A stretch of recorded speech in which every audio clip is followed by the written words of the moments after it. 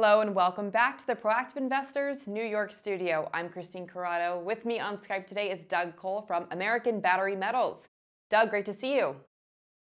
Nice to see you too. great to be out of the field for once. Yeah. So, Doug, you've teased us in the past about your ongoing geophysical study on your lithium project in Nevada, and you've you've now stated that preliminary reports shows quote exceptional condu- conductivity. Why do you think this is important to the overall exploration project? Well, because in in with conductivity, there's lithium. With conductivity, there's sodium. There's and, and there's other metals, but there's two big metals there. That's that's a very good sign. And if you could just remind investors specifically what technique you're using for the geophysical survey. They use a geophysical. They basically, I've seen this. And I'm not the technical guy, but basically they put a node in the ground every 10 yards, and then they shoot it down, and it can go down 10,000 feet, and comes up and tells you what's there. And uh, I think I showed you the picture a couple of weeks ago, uh, basically what what the results were uh, of just that, just the the one little area that we have. So um, it's it's exciting work. I've never really been involved with that part. A lot of people around me have, of course, but now seeing it, it really you, you really start to see what's down there. I don't think you can see diamonds when you're going through that. I don't think you can use geophysical for that, but I guess you could use geophysical to find rock formations or conductivity that would have diamonds in it. But um, in our in our case, it's it's a huge reservoir. I called it monstrous last week. 180 billion barrels just in our area. Uh, you know, if it has the same conductivity as as or same brine numbers that our partner had, we're we're looking really really good. But you know, the jury's out on all that still.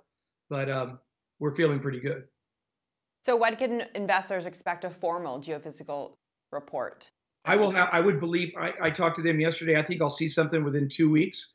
But keep in mind, and that'll be just on our first work, keep in mind, uh, we're going to um, do a lot more geophysical over the next two months. And we're going to really put our outreach out there and, and try to figure out how much bigger this uh, reservoir is than, than just what we know today.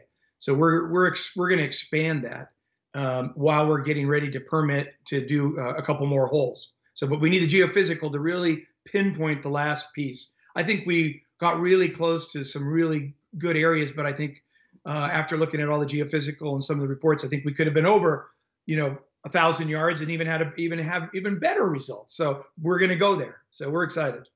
So you say that you you're getting ready to permit the next few holes. What have the the latest drilling holes told you?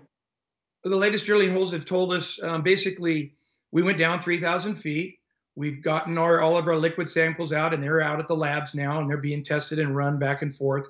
And that that's going to take a little bit longer to get results on that because anything I put out would not be 100% true yet until we've hit it from all source angles. So we also, uh, like I said, we went down 3,000 feet. We have samples at every at 10 foot intervals all the way up. So those 300 samples today are being logged, put together, and then shipped to the labs, taken to the labs. We don't let anybody touch them.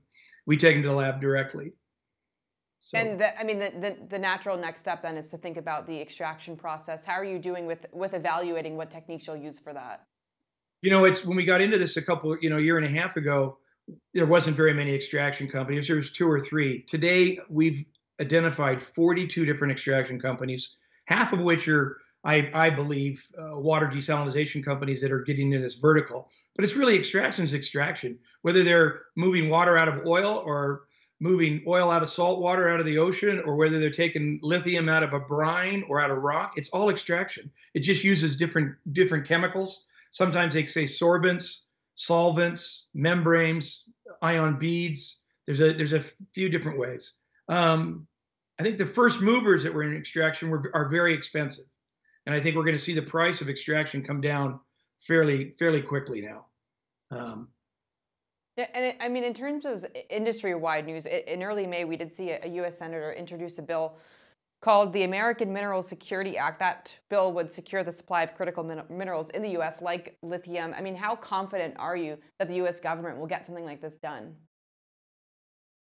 I'm, I'm really confident. Just like oil, um, the U.S. government needs to stockpile these these metals these battery metals. I mean, uh, where there's 100 gigafactories being made or be, are being built in the world today.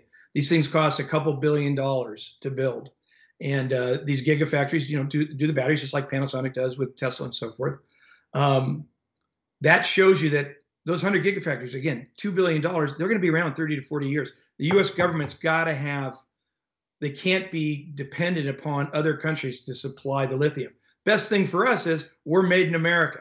We believe the government's going to stockpile it and, and we're going to be working with the US on a, you know, on an ongoing basis. So we're, we're very excited well, about that law. I'm excited as well as always, looking forward to following the company as it progresses. Doug, thanks so much for your time today.